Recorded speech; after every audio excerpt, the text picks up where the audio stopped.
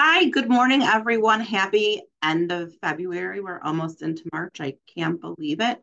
But welcome to our RON platform demonstration today with Ronary. Erin, thank you so much for coming today. Of we certainly appreciate it. So I don't want to take up a lot of everyone's time. I know they're super busy and I'm going to jump right in. Irene, let me know if you're all set to share your screen or if you need anything from me. All right, I will go ahead and uh, start the screen sharing on my Great. end.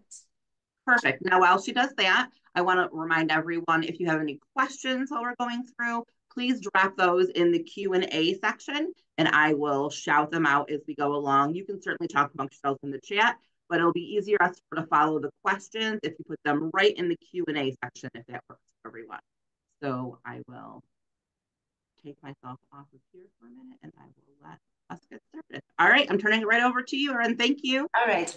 Uh, first of all, I'd like uh, to uh, thank Marcy for the opportunity and also thank um, everyone who joined us today. Welcome to my Ronary all-in-one solution for my seamless digital notarization and document signing. As a new user, we want to make sure that uh, you hit the ground running and um, uh, you maximize the platform's benefits here's uh, what you can um, expect from uh, today's uh, presentation. We're going to talk about uh, uh, features and uh, capabilities, including uh, remote notarization, electronic document signing, and video e-sign. we're going to discuss tips for um, optimizing um, your document workflows and increasing productivity. And at the end, I will also answer my questions um, you may have. So um, let's get started. Our platform is uh, designed um, is designed to simplify uh, remote uh, notarization while ensuring a state's uh, compliance. As notary, uh, notary publics, um, uh, we understand uh, the critical role you play um, in ensuring the integrity and legitimacy of um, legal um, documents. At Ronary, we also share that commitment to security, which is why it's um, at the cornerstone of um, our um, uh, of everything we do um, here uh, at Ronary. I'd like to highlight uh, certain important, important um, aspects um, of the security protocols uh, we enforce. First, it's um, credential analysis. Ronary leverages some advanced uh, credential analysis technology to verify uh, the authenticity of uh, signer and witness uh, IDs. This uh, involves a um, multi-layered um, approach that checks for, one, it's a document verification, we check um, the validity of uh, government-issued um, ID using um, official databases, uh, ensuring um, it's not a forgery. And two, it's a facial uh, recognition um, we leverage a secure um, facial recognition technology to confirm uh, the signer's identity matches their ID photo. So credential analysis uh, helps um, prevent unauthorized um, individuals from uh, conducting uh, notarized transactions and protecting you and your clients. Ronary also um, employs dynamic knowledge-based authentication, or um, as it known as KBA, during um, the notarization process, KBA challenges your clients uh, with questions based on their um, previously shared personal information. This um, additional uh, layer of verification helps um, ensure the person seeking uh, your services is um, who, who they um, uh, claim to be. Next is a uh, record uh, retention and management. Uh, this is uh, what you will see in your e-journal on uh, Ronary, each uh, remote notarization session is uh, recorded and uh, details of the transaction, along with uh, audio video recordings, um, are securely stored for 10 years. Um, now, um, uh, briefly about services that Ronary provides. First, it's a um, complimentary um, document e-sign for documents uh, do, that do not require notarization. The process is very simple. You upload your document, identify signer, and send invitation via email. The signer opens, uh, opens a link provided in the email, reviews the document, and uh, signs it. The executed um, document will be stored in your e-journal as well. Next, uh, we have uh, video e-sign. For extra layer of security, the documents uh, can be sent to clients uh, with an option of uh, identity verification, such as credential analysis, KBA, both or neither. The entire signing process is uh, recorded and video is stored um, on in your electronic journal as well. Next, um, we have a remote online notarization. As many of you know, it's uh, a process that allows documents to be legally notarized uh, electronically without the need of um, a signer and notary to um, be physically present in the same location. All right, so now I will um, guide you through a quick um, signing uh, registration uh, process. Uh, you can uh, um, you can register on Notary website by clicking join. Um, after your account um, is um, uh, created and verified, you will be asked to uh, complete your profile details to fill up all the notary details in this section. Under your um, e-signatures and e-seals, you will have an option to pick uh, your own style of signature and the same goes for e-seal, whichever style you would like. Uh, that's what uh, what's gonna appear on the uh, documents that you are notarizing. Under digital certificates, um, here you can uh, upload uh, your certificate. Um, Ronary supports um, digital certificates uh, from uh, IDEN Trust. Uh, for more information, you can just click on the link and it will um, guide you through um, all the details uh, for specific um, digital notarizations uh, for notaries. All right. So uh, I'm gonna log out from this account. Uh, we'll log into a existing one. Give me just one moment.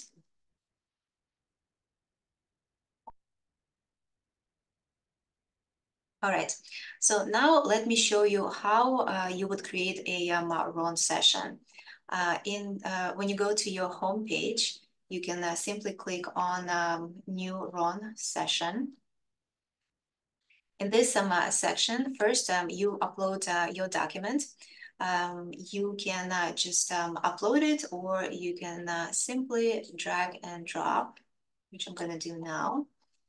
Uh, here you can uh, rename your document, you can uh, specify uh, the type of notarization, and uh, you can also leave uh, any notes for your e-journal. Um, you can leave the first last name of your signer, you can um, specify if it's, um, let's say if it's a real estate transaction, you can um, mention the address, um, so you can quickly search in your e-journal you can uh, either see it by date, um, the person's number, uh, the person's name, so it's easily, um, so it can be easily found. Then you will add, just this. I just want to jump in here one minute. Can mm -hmm. everyone see Iron's screen? Can you see the actual platform demonstration? Uh, can you drop a little note in the chat for me or a reaction? Let me know that you can see that. Perfect. Thank you. I just wanted to make sure. Okay. Great. I'm so sorry okay, for interrupting everyone. No, no, yep, no. Go Thank ahead. You. I just want to make sure everyone sees it. Yes, no, absolutely. Okay. Uh, so next, uh, we're just going to click acknowledgement. Uh, next, you will add your participants here. Okay. This again. So here I will add my name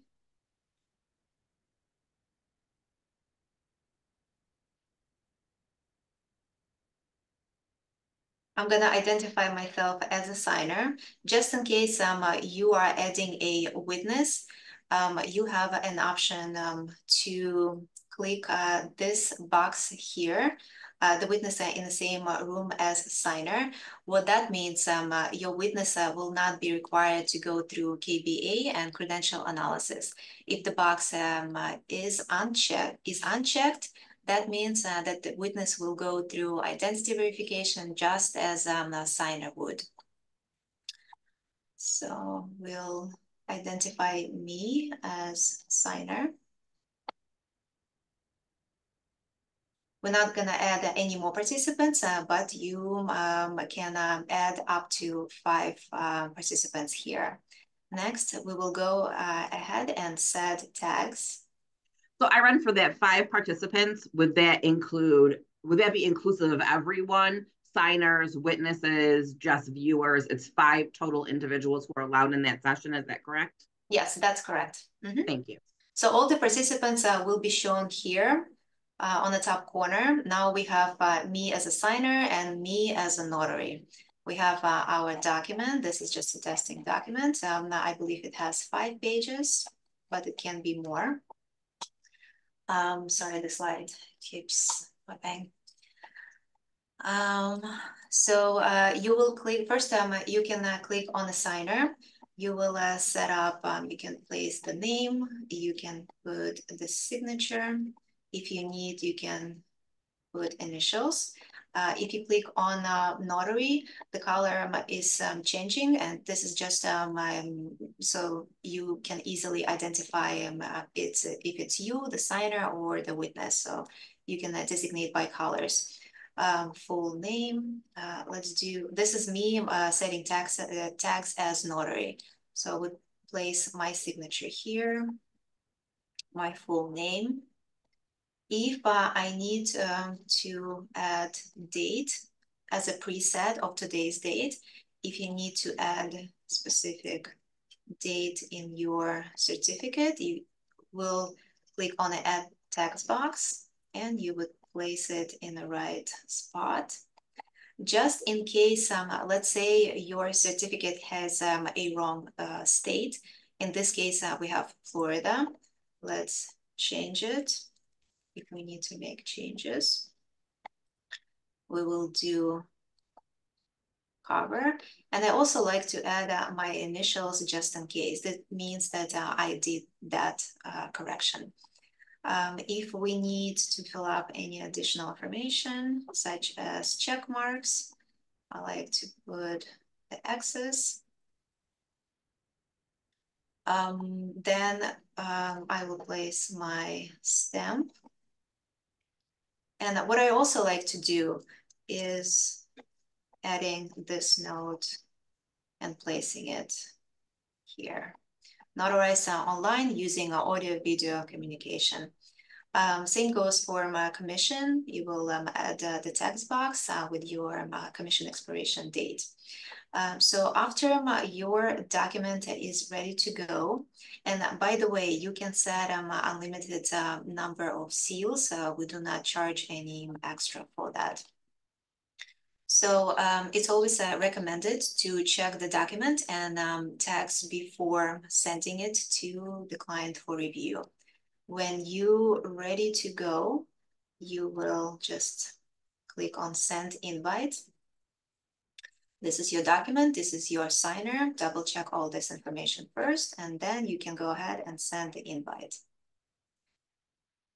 Um, this is um, your unique um, invitation code to this specific um, session. Every participant um, uh, that you indicated will have um, this unique uh, code so they can just uh, access uh, the session with this number. And now I will check my email.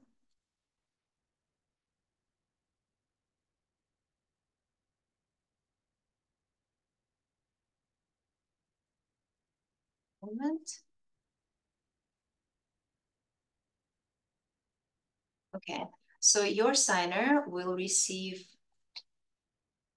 an email invitation. How to get rid of this? Okay this uh, going to be the email invitation. So if um, your signer is a first-time user, they will have um, an option to download um, uh, Ronary app uh, for signer from uh, Apple Store or Google Play. If uh, they already have uh, the app uh, installed, they simply can click on go to your Ronary app and enter the invitation code just um, um, uh, in case um, your signer doesn't uh, want to use the app or it's inconvenient for, for them or they prefer using a web browser, they can just uh, click on the link.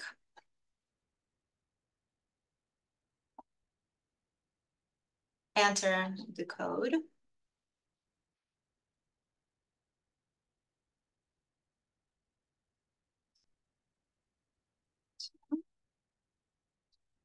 And they will be uh, brought to this um, session.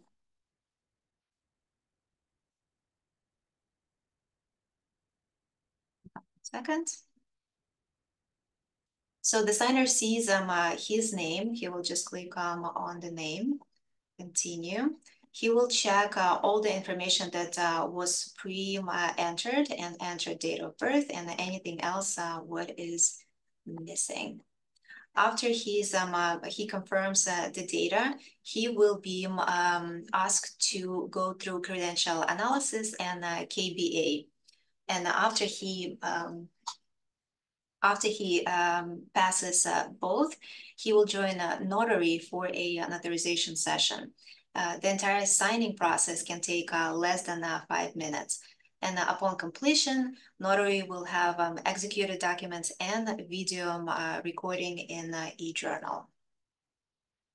And it will have all this um, information uh, about um, the completed session. The documents can be um, accessed here, the video confirmation of um, the entire session.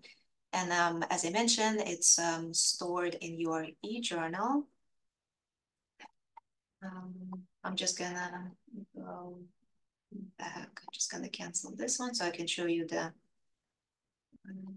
now. So your e-journal will look like this. You have uh, all your remote online notarization sessions, your video e-sign sessions, and uh, document sign sessions.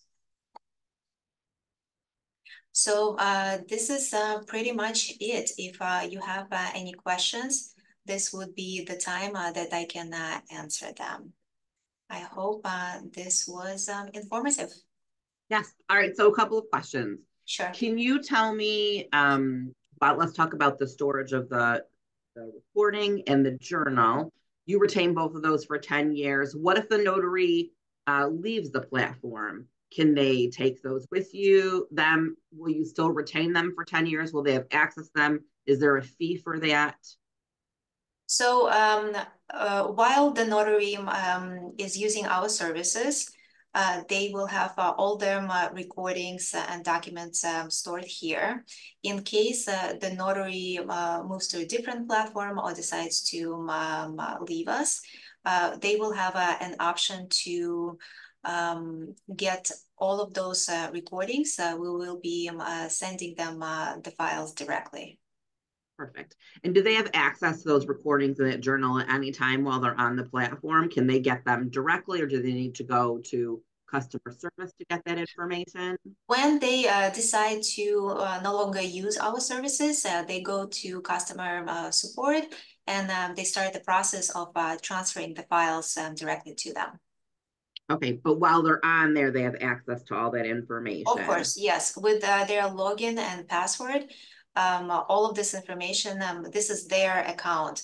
We have nothing, nothing to do with it. They, it's okay. theirs. And do you store those signed documents? Uh, yes, of course. It's um iCloud uh, storage. Everything is stored there, with the documents and the video recordings as well. Great. And then what about um, the training? Is there training that they can take or is there required training training to join your platform? Uh, we do not uh, require any training. Uh, the platform was uh, specifically designed so it's um, simple in use and um, user friendly. Um, after one um, session, I'm, I'm pretty sure everyone can be um, familiar with uh, with the platform. If um, the new new user comes in, we always um, offer a, a, training. We can uh, set up um, uh, personalized uh, calls and uh, we can go through notarization or video e-sign uh, processes and show how it's working. So it's uh, upon request, we do not require. And then uh, your customer support or customer service, is it, uh, do they have phone access or is it by chat or email? And what hours is their customer support available? So um, we have a um, chat on our website. Um, we can you can drop any questions or notes, um, and uh, we are trying to respond to them uh, um, as soon as possible, just in case um, our customer support is uh, busy. Um, usually it's during office hours, but it depends on the day. If we are busy, uh, we can just, um, you can still leave a message here. Uh, we will check those messages um, um, often and we will respond as soon as possible. Or you can just um, uh, email us at support. Oops at support or services. And uh, we also um, check those um, uh, often and will respond as soon as possible. Okay, great. Um, let's talk about non-US citizens. So, you know, um, does the platform allow for just the biometrics plus identification or does it require the, A, the KBA? Do you take foreign uh, identification and what types of foreign identification if you do? So if uh, it's a foreign um, uh, person and uh, they do not uh, have uh, social security, they will not be able to pass um, KBA. In those instances, we offer, um, we have an option of credential witnessing. So the other person who knows the signer can come in. they will pass um, ID verification such as credential analysis, KBA, and they will also join the session along with the signer. They will be asked um, specific um, sets of questions. Um, uh, so the signer can be identified by this witness. Okay, so I just want to make sure I'm clear. So if the individual is not a U.S. citizen and they don't have a social security number, um, you don't allow for just the biometrics and the foreign ID verification, correct? You would require a witness. Yes, they have would to, have to be a U.S. citizen. Yes, the the um, credible witness um, he has to be a citizen so he can pass KBA and credential analysis in order to join the session. But if the signer is not U.S. citizen, he will simply not pass KBA, and this is one of the requirements. Let's see what other questions we have in here. Um,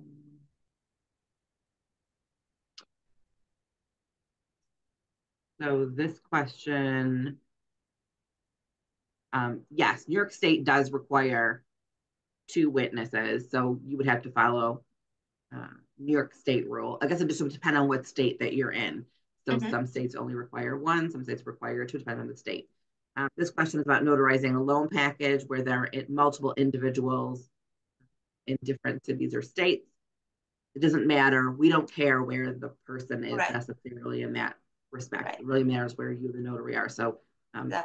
individuals from anywhere can do that. Right. Um,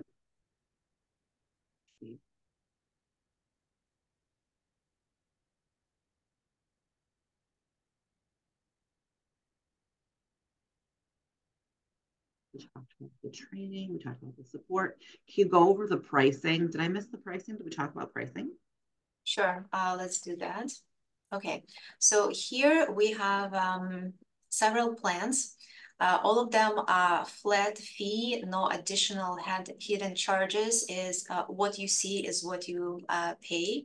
Uh, it doesn't matter if it's a uh, regular notary work with a uh, one, two page document or it's a real estate transaction.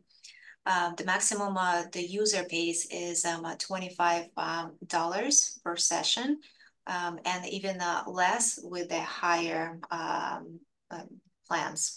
So every single uh, plan starts um, um, with the five, uh, let's, let's talk about the starter. So the starter one already includes five video e-sign sessions and five RON sessions. We have uh, up to five signers per session with unlimited tags, unlimited seals, Everything is um, recorded, stored for 10 years in your e-journal. Uh, we have, um, uh, the signer has um, uh, ID verification, such as credential analysis and uh, KBA. All of your unused sessions can be um, rolled over to the next month. Um, and every single plan comes with a complimentary uh, document uh, e-sign. And as I mentioned before, those are the documents that do not require an authorization. You send something to your client, he receives an email with the link, and he signs documents uh, within a couple of minutes. Um, same uh, executed documents um, stored in your e-journal. Um, and um, during um, the months starting uh, March 1st, we're going to have a, um, special for all the um, uh, new and existing users. They will have um, uh, three free um, Ron sessions or my video e-sign sessions. It can be used for either for either for either one, so they can um, have a feel how the platforms uh, works, what they um, like, and see how um, how easy this is. And those uh, free sessions um, should be used uh, during March, so they are good through March 31st. Great. And now back to the credentials or identification that a user can supply. So do, do you allow for foreign credentials? So a, you know, a Spanish passport or a, you know, Greek passport, or is it only US identification that we can use on your platform? They allow, um, the system that uh, we use allow for foreign um, identification, right? Mm -hmm. It doesn't necessarily has to be US. Great. And now what states are you available in? Um, are you then we know the states that don't allow for RON, but is there a place where they can find to see if you're approved? Yes, so the states are here and uh, we periodically might add um, different states as we go through their rules, regulations, um, and uh, we see if we can uh, comply or not. So far, this is the list of states. Gotcha. Mm -hmm. All right. Any other questions? I know there's a couple of state specific questions that I'll uh, I can answer offline. I think give you all a countdown, a one, two, three countdown for anything else you have questions about or you'd like to add. This, of course, was recorded. We'll put it in our uh, Ron library so anyone can access it after the fact if you Perfect. were able to. You jumped in late. I'd say if you left early, but if you're not here, you wouldn't hear me say this. So. And if everyone comes up with uh, different questions that they had a chance uh, to ask, uh, we also are available, like I said, they can just uh, email us at support and uh, we'll be happy to answer any questions after this presentation. All right, perfect. Well, I certainly appreciate your time today. Thank you of so course. much. This was Thank so you, helpful. Marcy. If anyone else has any other questions, you can drop them in quickly. Otherwise, I will release you all to get on with your day. Mm-hmm. Thank you so much. Thank you so much, everyone. everyone Have a great day. Thank you, Erin, so much. We really appreciate you. Thank you. Have a great day, everyone. You too. Bye.